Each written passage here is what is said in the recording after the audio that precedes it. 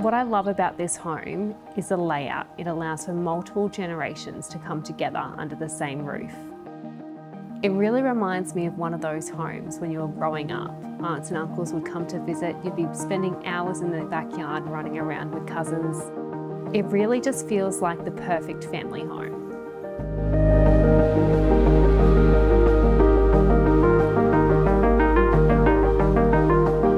It just feels so private in here. Every time you look out a window, all you can see is greenery.